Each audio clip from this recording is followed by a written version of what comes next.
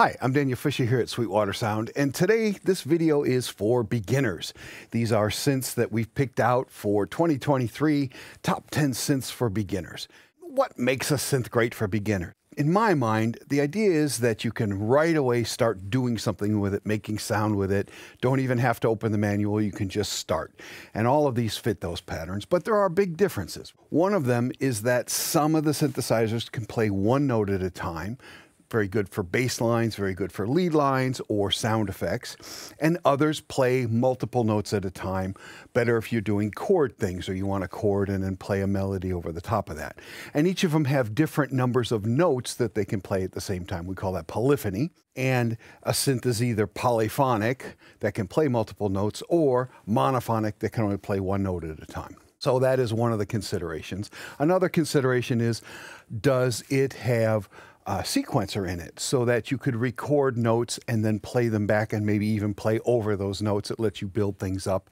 Uh, some of them have that, some don't. For example, this one even has a recorder that records you playing and then you can layer over that. So, what I'm going to do is introduce each of these synths and then play you a clip of a performance on that synth and try to just give you an idea of why it might be the right synth for you. Now, I'm not going to show these synths in any particular order, but I am going to start with the monophonic one note synths first and then move on to the polyphonic multiple note synths after that. So the first synth up is the Moog Mavis. This is an all analog synthesizer and it's a it's a kit as well. Not that you have to do any soldering anything, but you do assemble the panel and you put the jacks nuts on and uh, assemble various things. It's fun. Plus it lets you get to see the inside of this synth. But this is a very powerful synth. This is truly a Moog synth. You're getting Moog oscillators, a Moog filter, has a little keyboard that you can play on, and then it has all these jacks that do voltage controlled things. So you can connect things together to try different ideas for sounds, or you can plug them into other things that have Eurorack type jacks like this. But this is just one of those synths that's really fun to explore what happens when you connect one thing to another thing and try it out. It might work, it might not, but you'll learn something every time. It also comes with a cover on the top to keep the dust off, and you can just store it like that.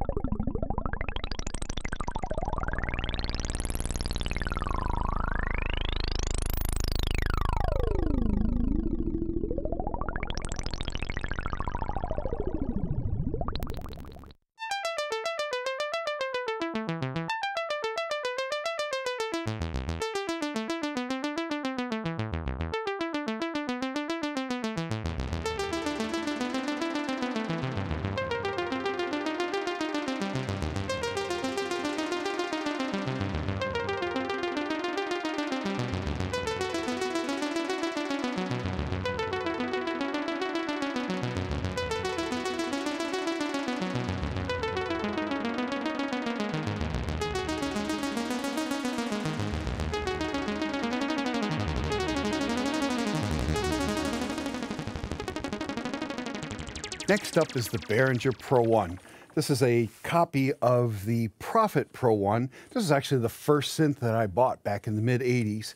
And so this has special meaning to me, but it's a very, very fat, powerful synth. Again, monophonic, so it's good for lead lines, bass lines. Everything's on the front panel. There's no diving, there's no surprises. And it has two different sequencers that you can record to and then play back, and you can switch between the two sequences. It's also got an arpeggiator, so you can hold down keys and it'll run between those notes. Uh, just a really great synth. And if you're into 80s music, you will hear this sound a lot. Uh, the one thing though is, is that this does not have a keyboard of any kind on it, and so you have to use MIDI. Now the cool thing about it being MIDI is you can use pretty much any keyboard you want that has a MIDI out. If it has a jack that looks like that and says MIDI out, um, you just plug a cable from that to this and you can play it.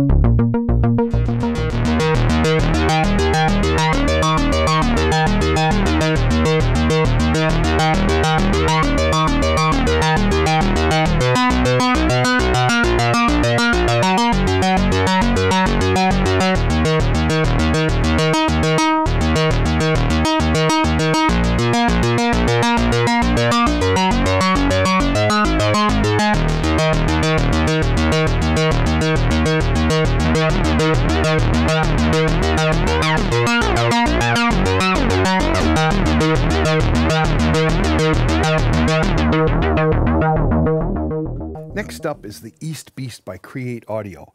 This is a very powerful little analog synth. Again, monophonic, one note, good for bass lines, good for lead lines, good for sound effects. And it does have a little keyboard on it. Uh, you can see the white buttons and the black keys, and that represents the keyboard. And it has octaves up and down, so you can do quite a wide range of it. But you'll mostly want to use this with MIDI. There is a MIDI in jack on this, and you simply plug this little dongle that goes from this size to the regular five pin DIN. But the key thing is, is that there's just so many ways to modify the sound. There's a lot to learn on this one. But again, like all of these, it's fun to just plug in and start having fun.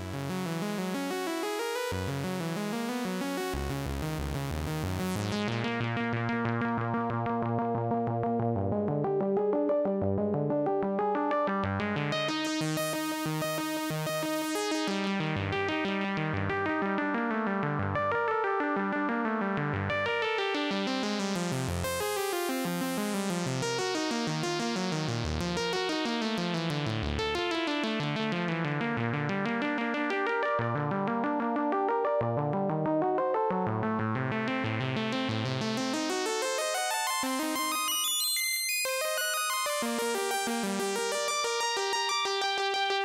the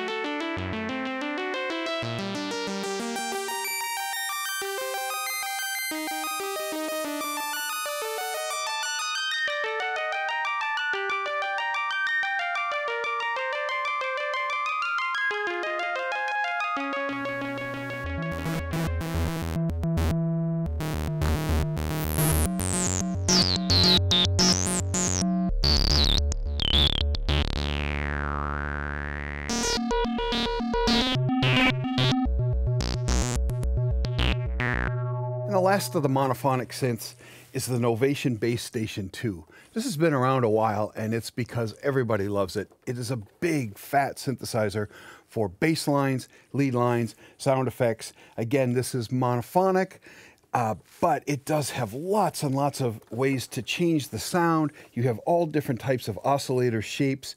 You have several LFOs, and this has real size keys as well as pitch and mod wheel. Uh, definitely a fun one to play with.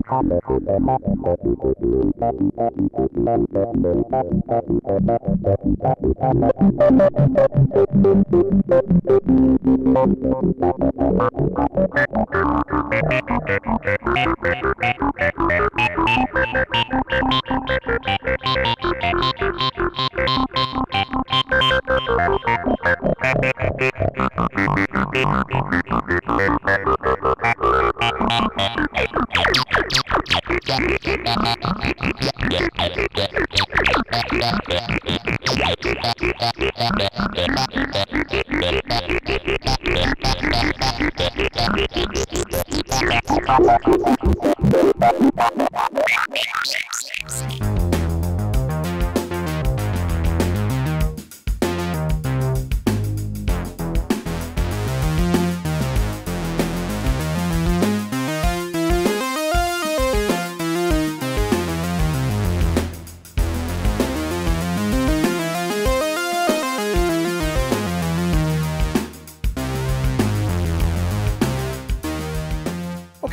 moving on to polyphonic synthesizers, which means you can play chords up to the total number of notes that it can play.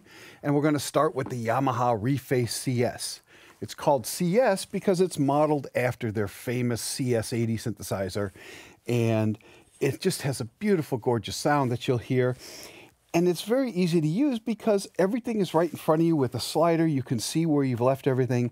You have your envelopes and your filters and your cutoff and your LFOs and your octaves. And then it also has a built-in audio looper so you can loop things and play along with your loop which is fun. And it also has effects, so you've got distortion and chorus and flange and phaser and delay and controls for that as well. You can also play this via MIDI with a much larger keyboard. It has lots of range. It'll do eight notes at a time, and I do really like this. And I also have the optional end caps that allow you to put a guitar strap on it so you can wear it like that and play it. It also has stereo speakers and runs on batteries, so this is a self-complete unit and again, a lot of fun to play.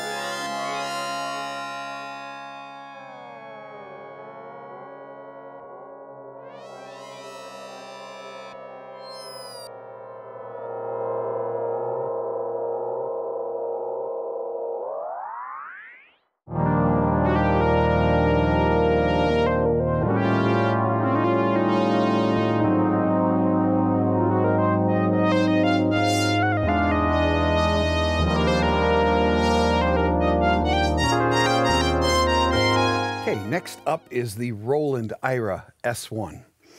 And this is a really fun little beast, as you'll see in the video that's about to come up. But it'll play four notes at a time. It has a, a, keyboard across the bottom, and it's actually wider than, than most of these types of keyboards. This is just a little bit over two octaves, and it has most of the knobs that you need up front to start having fun, but it does have a lot of hold, shift, and turn this knob, or hold this button and turn that knob to get other features as well. But you can just get started on it and then learn as you go. The cool thing about this one is it's battery powered, has an internal lithium battery. You can just put headphones into this, sit on a chair, sit up against a tree, and program, and it is just a whole bunch of fun as you're about to see.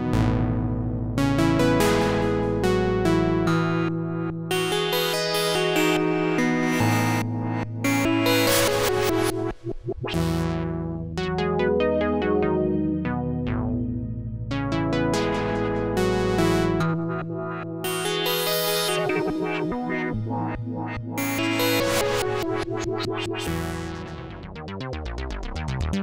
you.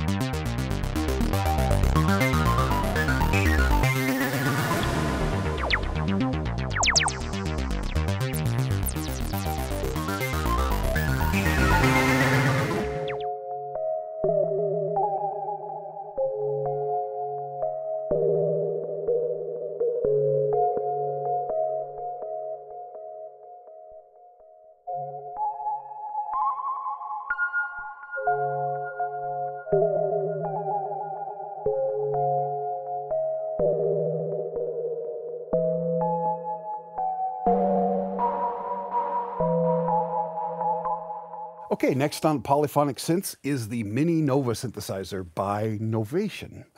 And this is a fun synth in that it can do 18 notes at once, so plenty of room for holding a chord while playing a melody on top.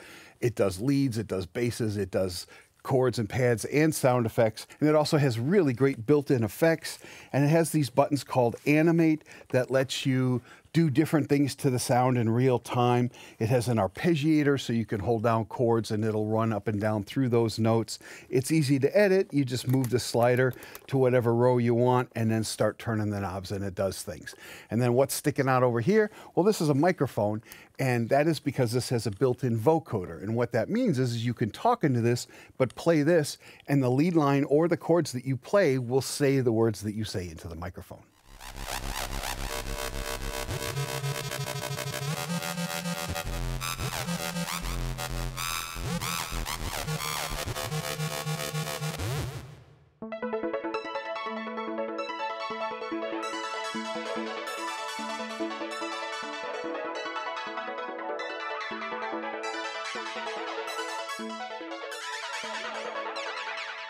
It's only crazy when you answer back when you talk to yourself.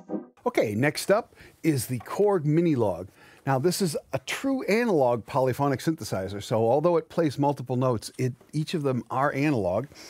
And it is very much the same as the original Korg Minilogue, uh, but it has this very cool color scheme with the different color keys, uh, and it has additional bass programs that kind of push how good this thing is as a bass. But honestly, this does great pads, it does great leads, it does great sound effects, as you'll see in the video.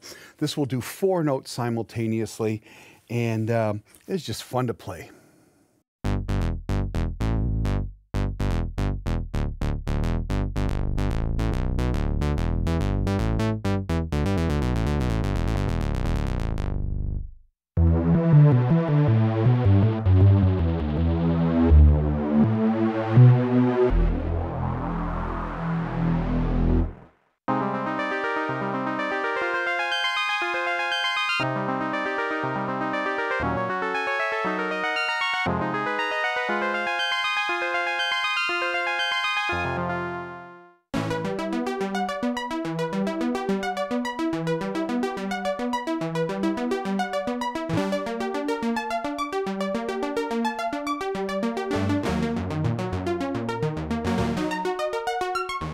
Next up is the Arturia MiniFreak. And this is based on the very successful Arturia MicroFreak, which is smaller and had gold leaf touch pads instead of keys. Now they've added keys and they're velocity sensitive. But the thing that makes both of these synthesizers really special is they have many, many, many different types of synthesizer engines. And you just turn this one knob and look at the pretty pictures to see which engine you have. Then the other three knobs are the main parameters you'd use on that synthesizer. Then you have all your standard LFO and envelopes and effects over here. But on the Microfreak, it was monophonic. You could only play one note at a time, but there was a special mode where it would play four notes, but they weren't four fully formed notes with their own filters and things like that. But you could still have fun having four notes a little bit. This one does six true notes of polyphony, but you can put it into a mode where you have 12 notes of polyphony. So there's just a lot of to be explored there, a lot of fun touch things on the front. And again, if you just want to explore all the different types of synthesis out there, this is a great way to do it.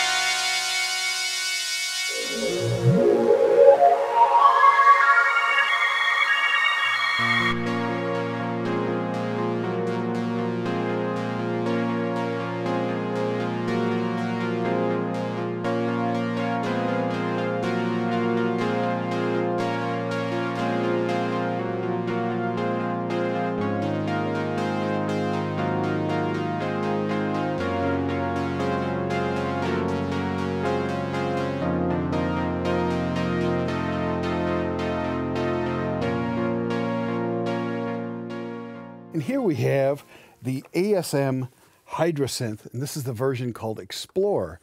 Now, the interesting thing about the Explorer is even though it's the smaller size, this is exactly the same power as the 49 key Hydrasynth or the desktop Hydrasynth.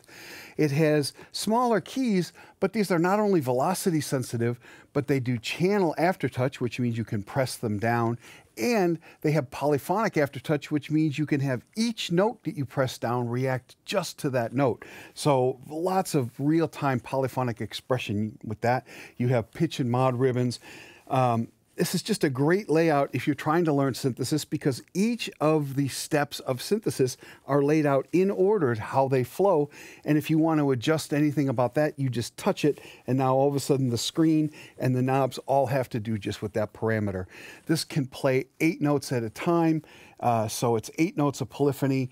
Uh, it's just a really great synth, a lot of fun to play with, and there's just many, many, many sounds built into it.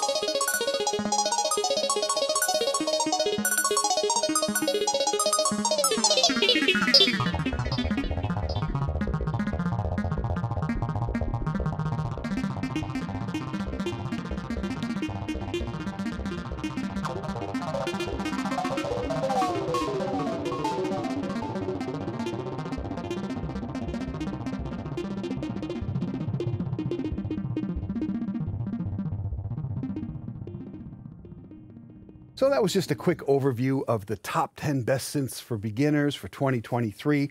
Obviously, there are so many more synths that might be right for you, but I thought these were a really good 10 to start talking about. If you have any interest in these, we'll have links below that take you to the product page with all the information, plus full-length videos so you can get a better idea about them. If you have any other questions, please contact your Sweetwater sales engineer. My name is Daniel Fisher. Thank you very much for watching.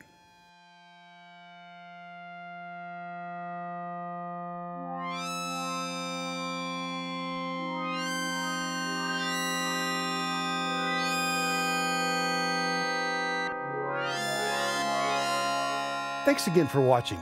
Be sure to like, comment, and subscribe. Click here for more videos like this or go to sweetwater.com for all your music, instrument, and pro audio needs.